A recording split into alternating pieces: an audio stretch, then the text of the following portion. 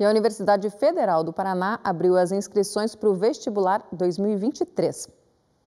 São 5.361 vagas disponíveis em 124 cursos de graduação da Universidade Federal do Paraná. E para falar sobre a edição deste ano do vestibular, eu converso agora com José Carlos Eidan, que é coordenador geral do Núcleo de Concursos. Neste ano, a prova volta a ser em duas etapas. O que levou a isso? Exato. É, a realização é, anteriormente, né, nas últimas duas edições, foi em uma etapa só por conta da, da pandemia, né?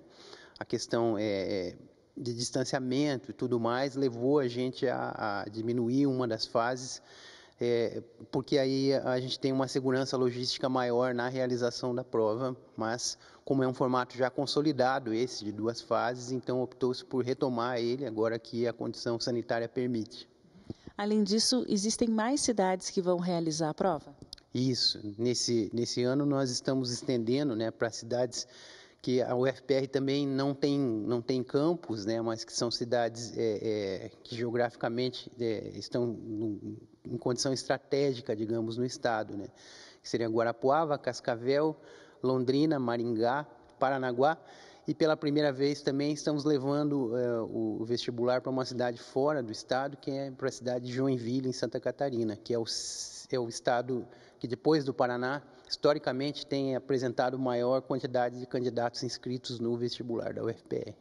É importante, claro, o candidato se atentar às datas, né? Agora, a partir do dia 18 até o dia 27, tem a isenção da taxa, né, pelo CAD único, e até o dia 5 de agosto para as outras pessoas que querem pedir isenção. Quem são essas pessoas que podem pedir isenção?